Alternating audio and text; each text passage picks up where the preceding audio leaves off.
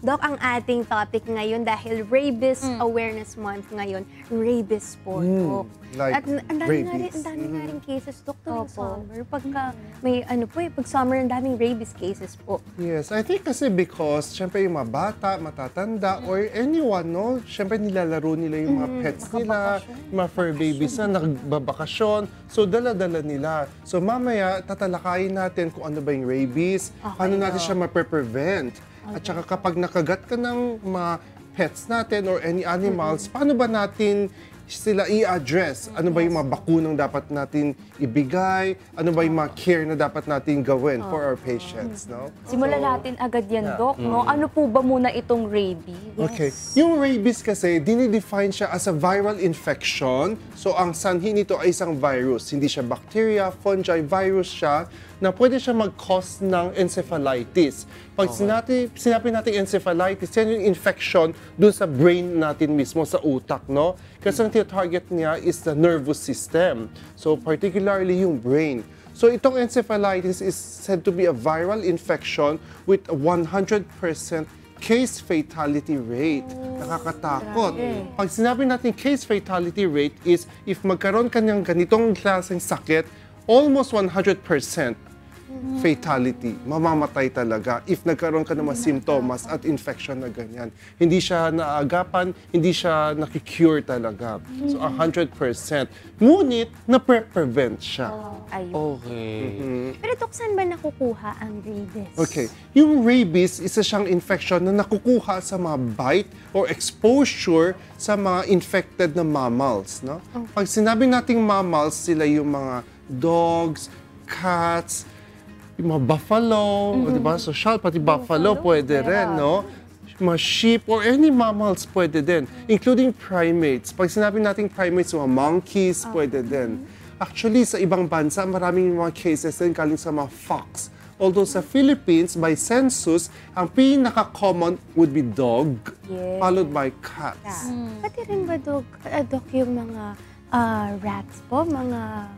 Mga daga, mga daga rabbits. po, Ah, rabbit. okay. Magandang tanong din po yan, no? Para at least sa mga audience natin. Yung mga rodents, so sila yung mga daga, yung mga rabbits, yung mga family na yan, although they are mammals, they can be infected, but based on studies, hindi sila nagta-transmit usually based sa mga researches and studies. So mamaya, meron tayong mga myths, no, na ibabas na masaya. Siyempre, for sure, may mga audience na magtatanong, Nako, Dok, nakagat ako ng rabbit. Nakagat ako ng daga namin sa bahay. Magkaka-rabies ba ako? Kailan ko ba magpabakuna laban sa rabies? Pag-usapan din natin yan. Pero Doc, ano po ba yung sintomas ng rabies? Paano ko po malalaman kung meron akong rabies? Hmm, okay. So actually, kapag na-expose tayo, first of all, before natin hantungan yung mga symptoms na yan, kasi pag nagka-symptoms ka na, point of no return ang tawag natin dyan. Yes, once you have symptoms, it's almost always goodbye in 24 hours to maximum 48 Yun na, Doc, hours. pumapasok yung sa fatality Yes, 100%. doon siya sa Pag may fatality ng symptoms 100, correct. Ibig no? sabihin, Doc, mabagal po ang paglabas ng symptoms nito. Ganun po ba yun? Yes, because meron tayong tinatawag na incubation period. So incubation period is pwedeng na-expose ka up to the time na nagkaroon ka ng symptoms. Yung incubation period niya can be as short as a few days, weeks, or even years. May mga cases na one year ago na siya nakagat or nakalmot ng aso niya. Actually, may patient ako before, nagluluto lang siya, no? Tapos yung dog niya is parang nakikipaglaro lang eh hindi niya alam. Yung laro pala na parang nakalmot siya sa face, hinayaan lang. So gumaling na. After a year then nagkaroon siya ng mga simptomas. So once you are exposed, kailangan talaga nating i-address yan. Kailangan magpakonsulta. Hindi pwede yung mga kung ano na lang gagawin. Which I think meron akong mga ide-demo mamaya or pag-usapan natin. Ano na ba yung mga usual na iniisip nating gawin? Pwede ba siya? Tama ba siya? Or mali? Pero Doc, paano nag-activate naman yung rabies? Kasi di ba po may ranggit nyo na merong incubation period siya. For example, yung years pa bago po na-activate yung rabies. Yes. Paano po yun, Doc? Okay. So, for example, kinagat ako sa kamay, no? So, actually, hindi lang nga kagat. We also consider ma-scratch, yung pagninibol, yung ginangat-ngat yung skin. Considered exposure yon. Okay. Do you know that, in fact, pag dinilaan ka ng pet natin or any animal, that's already considered an exposure. Because for rabies na categorization, so animal bite categories, meron tayong tatlo. Category 1, Category 2, Category 3. So example ng mga Category 1, feeding. Pag pinapakain lang natin, or nakikipaglaro lang tayo, tapos nadilaan tayo, o nan intact skin, ibig sabihin walang sugat, intact skin. So, considered category 1 yon. Or for example, may sinamahan ka lang na patient. Parang casual lang sinamahan mo lang siya. That's kasi category 1, no? Pag category 2, meron ka ng wound. So for example, yes, may sugat, na-scratch ka, nakagat ka, or na-nibble ka, yung parang nangangat-ngat ka, o nan-uncovered skin, o kaya meron kang bruise, may pasa, considered category 2. And then, syempre, yung mga audience natin magtatanong, Dok, nabanggit nyo may sugat. Anong klaseng sugat? So, kapag yung sugat mo is, for example, na scratch or nakagat ka, ngunit yung pagdurugo niya is induced. Yun yung malaking differentiation eh, sa category 3. Pag sinabing induced, for example, nasugat, and then ginawa nung patient, Dok, piniga-piga ko. Yan, tsaka dumugo. That's category 2. Okay. Pag sinabi natin category 3, yan yung mga talaga na-avulse, na-lacerate. Ano ba yung Tagalog ng avulse at na-lacerate? Yung mga napunit yung skin. Okay, kinat kinagat ka, tapos natanggal yung buong chunk ng skin. Okay. Yung ma-avulsion. As in talagang very talagang big, grossly talagang bleeding. Ibig sabihin, hindi mo na siya kailangan pigain, dumudugo na. Eh, tatanong din ng mga patient, eh, Doc, syempre sugat yan, durugo talaga yan. Okay. So, to let them understand more, category 3, ibig sabihin, maski hinugasan mo na yung sugat, may dugo pa rin siya, dumudugo pa rin. Pag category 2, syempre sugat pa din yan. Visible pa rin talaga na may blood.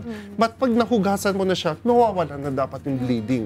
So, category 2. So, unang-unang, dapat natin i-categorize kung category 1, category 2, or category 3. Kasi dito magbe-base kung ano bang klaseng regimen, ano bang klaseng care ang ibibigay natin sa mga pasyente natin. So, sabi nga ninyo na paano yung ano, nag-grow ba yung virus sa katawan? So for example, nagkaroon ka ng category 2 na kagat. Pero ang kagat mo is malayo naman sa head, neck, so category 2 lang siya. For example, sa thigh. So, yung virus, kung infected man yung animal na kumagat sa'yo, mag inoculate siya. Ibig sabihin, dadami yung virus dito sa site ng bite. Never ka pa naman magkaka-symptoms at that point in time. Kaya lang, kung hindi mo siya nalunasan or nabigyan ng care agad, and if infected talaga siya, yung virus na yun, pwede siyang umakyat up to the spinal cord, up to the brain stem, to the higher center. So, ibig sabihin, pataas siya.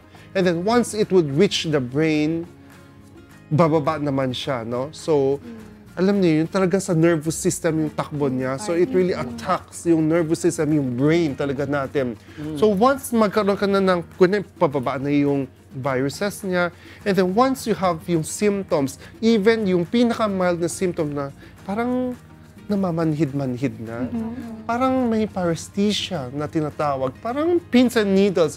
Parang tinutusok-tusok yung pakiramdam ko. Yan na yung symptoms mo. So ayaw nating humantong na magkaroon ka ng symptoms. Of course, yung patient magko-complain na, Dok, masakit kasi kinagat. Very obvious kasi ano naman, avulse, walwal na yung skin mo. Masakit talaga siya. But kailangan mo na siya bigyan ng point of care right away. Kasi ayaw mong humantong na dumami na yung virus, nag-travel na siya, centripetally, then centrifugally, papunta na dun sa higher center, down to the periphery, magkaka-symptoms, wala na. Maski na isang baldeng bakuna ibigay natin. Wala. I'm so Too sorry. late. Oo. Too late na. Point of no return. Pero pag doc sa mga ano naman, para mahawakan naman sa rabies, totoo po ba na kapag, uh, for example, itong animal is infected nga ng rabies, tapos kapag kunyari uh, na nalagyan ka ng saliva sa mata or sa bibig, ah, pwede po bang matransfer din sa'yo? Hindi kagat? Hmm, gusto ko yung tanong ni Ian. Kasi itatanong din talaga nila. Dok, hindi naman ako kinagat eh. Nakikipag-kiss na lang. Nakikipag-kiss lang ako, o, di ba? That's considered an exposure. Bakit? Kasi mucous membrane. Kasi syempre yung laway nung pet natin, o kaya yung ah, tawag dito, luha natin o sa mata, natalsikan tayo sa mata o dinilaan tayo sa mata, that's already considered exposure kasi mucous membrane to mucous membrane. Pag sinabi natin yung mucous membrane, yan yung mga lips, mga, sa may private area natin, mucous membranes din yon sa mata, those are open na mucous membranes, considered exposure yon. Oo nga din, no? So, pwede din natin i-categorize actually as category 3, gan- kasi category 3 yung pinaka-severe. Kapag nasugat lang tayo or na-scratch lang, ngunit hindi naman siya spontaneously dumudugo, ngunit if siya ay nasa neck at saka sa face, sa head, considered category 3 automatic. Okay.